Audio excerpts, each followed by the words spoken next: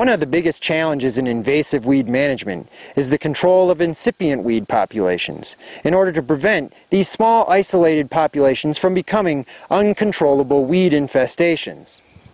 Incipient weeds are often in difficult to reach places, particularly in these natural areas where it's difficult to access. We don't have any means of transportation. A lot of our uh, weed control has to be done on foot. And right now our current technology is with the use of a backpack sprayer for spot treating or basal bark applications. This requires a lot of energy, a lot of resources, and a lot of manpower to have an effective incipient weed control strategy. I'd like to introduce a new technology, herbicide ballistic technology. Here we have a commercially available paintball gun running off a compressed air system. Here we have a prototype of a specially formulated herbicide in a gel cap. The process and manufacturing of these herbicide capsules is identical to the processing of the paintballs used in recreation. But instead of targeting people in recreation, we'll be targeting incipient weeds in these natural areas. The concept behind HBT is to provide a new technique in accurate, long-range, directed application of herbicide to weed targets. The technology in, in recreational paintball is quite advanced. This is a lower end air gun and I can still target weeds from over 100 feet away. What I'd like to demonstrate for you now is how I can use HBT to target this banana poka behind me across this ravine at well over 100 feet away. Safety's off.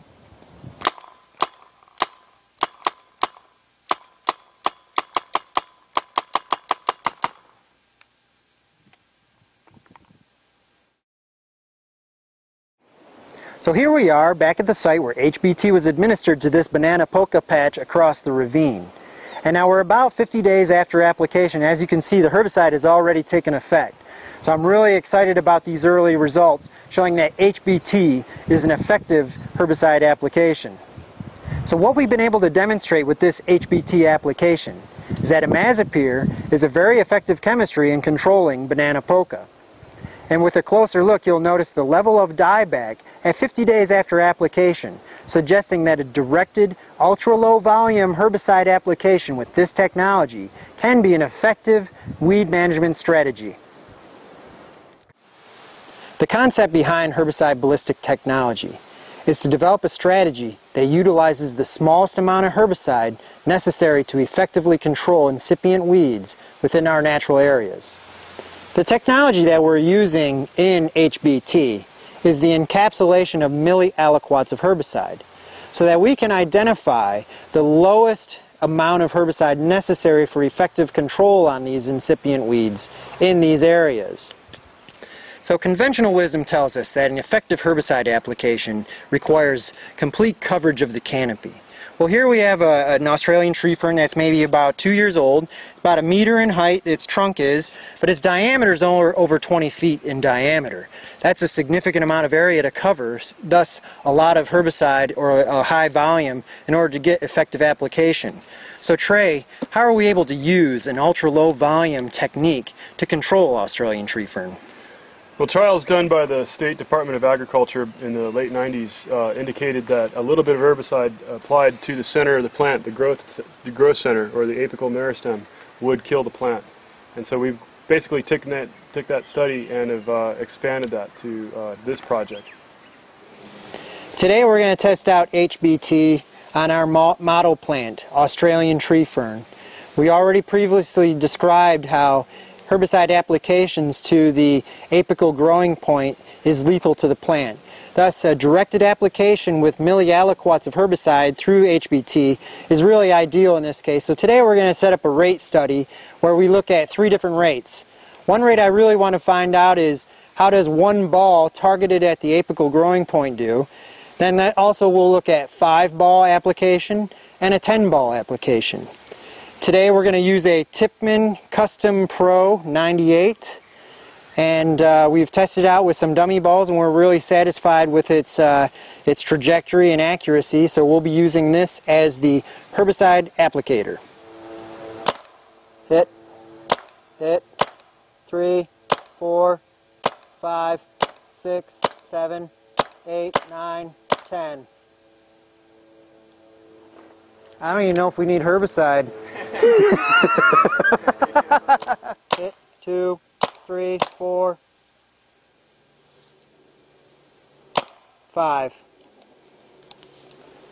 That's gooing. okay, we're going to take out this Kahili ginger on the other side of the gulch. And uh, you can reach on the left part and I'll reach on the right. Okay? Taking aim. And fire. Safety's off.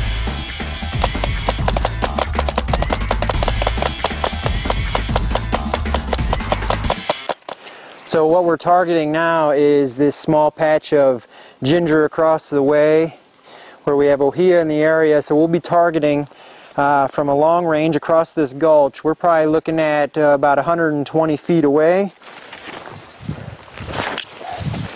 All right, take aim, safety's off, commence firing.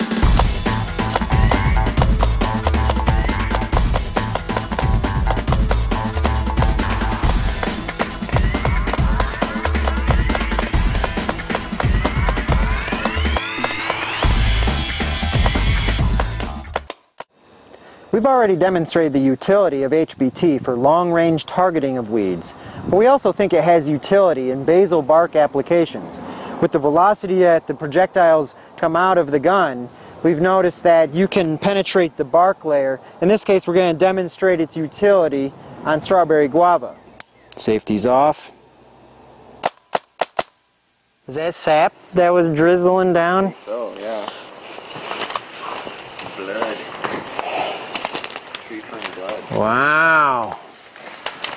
Holy cow. That was badass.